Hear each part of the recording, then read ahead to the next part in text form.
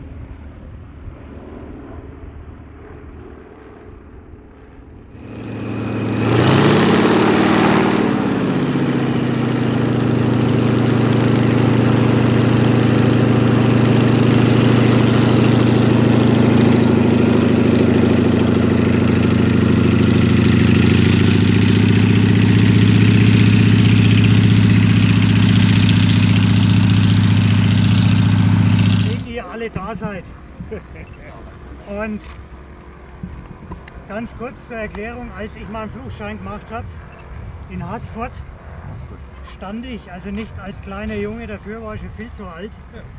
Vor dieser Maschine habe ich gedacht, das kann doch nicht wahr sein. Das war vor knapp 20 Jahren.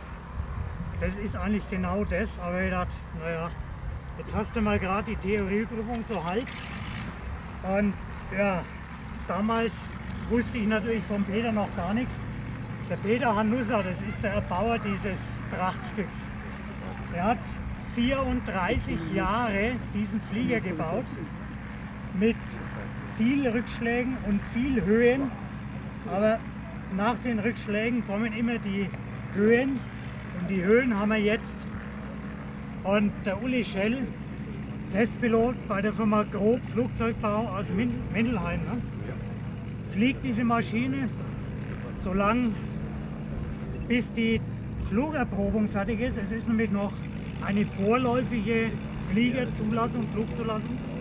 Bis das soweit ist, macht es der Uli fertig, weil so Leuchten wie ich, die so mittelmäßig fliegen, haben bis dahin in so einem Flieger noch nichts verloren. Wenn das alles fertig ist und ich weiß, wo ich hingehen kann, an welche Limits, weil das macht alles der Uli, dann sehen wir weiter. Und dann werde ich mal diesen Flieger vielleicht im Frühjahr, vielleicht im Sommer nächstes Jahr besteigen. Erzähl du ein bisschen was. Ja. Also wie gesagt, das ist der Fokker Wolf 190 im Dreiviertel Maßstab. Hat einen 9-Zylinder Sternmotor, 360 PS vorn drin. Und ich habe äh, 30 Jahre gebraucht, allerdings immer wieder ein bisschen mit Verzögerung und so weiter. Ich habe auch nur im Winterzeit gehabt zu bauen. Ja, und dann haben wir es endlich geschafft. Dann haben wir den Erstflug in Haßfurt gehabt, 2015 mit dem Uli. Das war auch ein spannender Moment, wo das Flugzeug das erste Mal flog. Ging eigentlich alles gut. Naja, und jetzt sind wir dann an dem Zeitpunkt gekommen, wo mir praktisch die Zeit weggelaufen ist, altersmäßig, wo ich sage, jetzt ist mal gut. Ne? Und man möchte noch andere Dinge erleben. Und wie gesagt, die letzten ganzen Jahre hat mich meine Ricarda, meine Frau, meine Liebe, unterstützt und hat, wie gesagt, immer wieder mal in den Hintern getreten, dass es endlich vorwärts geht. Ne? Ja, und dann haben wir uns kennengelernt. Der Ralf hat ja schon erzählt, er hatte schon in Hasford stehen sehen vor 15 Jahren. Und da hat er den Hallenbesitzer gefragt, äh, ob die zu kaufen wären. Da hat er gesagt, fang bloß nicht an, da zu fragen, sonst was los. Ne? Das gibt es überhaupt nicht. Ne? Naja, und jetzt, wie gesagt, vor zweieinhalb Monaten haben wir uns getroffen in Schweinfurt, da steht sie, stand sie bis jetzt. Und ja, und das war auch so, das Flugzeug ist nicht so einfach in der Art zu fliegen, sondern das ist schon anspruchsvoll und da muss schon einer das sowas beherrschen. Und dann kam der Ralf und das hat gleich von vornherein gepasst und so weiter und dass er ein würdiger Nachfolger ist und das Flugzeug fliegen kann. Und wir sind nicht wie gesagt, wir sind nicht aus der Welt, sondern wir bleiben dabei, unterstützen den Ralf in jeder Hinsicht, auch wenn es mal auf Flugtage geht oder so weiter, kein Thema. So, dann wünsche ich euch viel, viel Spaß heute und vielen Dank. Ja, ich glaube, wir haben noch eine kleine Aktion, wie der Peter schon an, angeführt hat. Das ist natürlich kein normal zu fliegendes Flugzeug, sondern ein wahrer Klassiker.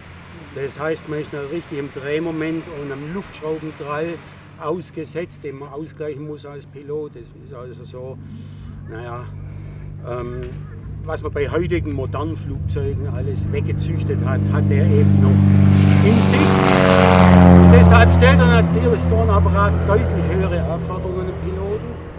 Ähm, aber beim Ralf bin ich sicher, dass er diese, diese Hürde packt, zumal er ja durchaus äh, äh verwandte, artverwandte Geräte äh, fliegt, wie die Pitts. Und jetzt macht er sich noch vertraut mit der Jack, die denselben Motor hat, weil da geht Drehmoment und Luftschraubendrall andersrum, wie beim amerikanischen Motor. Und dann ist es gut, wenn man möglichst viele Faktoren vorher ja, angeeignet hat, bevor zu viel auf einmal kommt. Trotzdem, wenn man mit dem Ding in der Luft ist, äh, dann geht eigentlich alles locker, locker vor sich. Die richtige Herausforderung ist, wie gesagt, das am Boden, also starten und landen. Das steht außer Zweifel. Da muss man sich wirklich voll anstrengen. aber der, der, der, deshalb bleibt es ja spannend. Soll sie auch, ne? Ja, es ist nicht, ja ist langweilig. nicht langweilig mit sowas. Genau. Gut. Hey, Ja? Äh, ja, okay. Eigentlich habe ich nichts. Ihr habt ja alles schon gesagt, was zu sagen ist. Also ich wünsche dem Ralf und seiner Frau ganz viel Erfolg mit der Maschine, viel Spaß, viel Freude. Und ja, wir werden den Lebensweg, mit, was die Maschine betrifft, ja schon noch ein begleiten hier. Also da darf ich zum Lebensweg der Maschine in Zukunft noch was sagen. Als ich den Kaufvertrag unterschrieben hatte bei den beiden, vor einem Buffet, das war glaube ich gefüllt vier Meter lang für Ja. vier Personen zu Hause. Dann kommt sie, aber bevor es geht, legt sie mir so einen Leitsordner voll auf den Tisch, hat sie gesagt, das wollte ich dir vorher nicht zeigen. Das sind die Anfragen von Flugshows und Flugtagen. ähm, aber wir bereiten dir das soweit alles vor. Du brauchst bloß hinfliegen. Wir stehen dann schon unten und, und schauen dann die Dinge, die da kommen. Also man wird uns wahrscheinlich öfter mal irgendwo rumgeistern sehen Und hören. und hören. hören. Hören klingt auch gut. Wir freuen uns drauf. Ja. Jetzt kommt ja,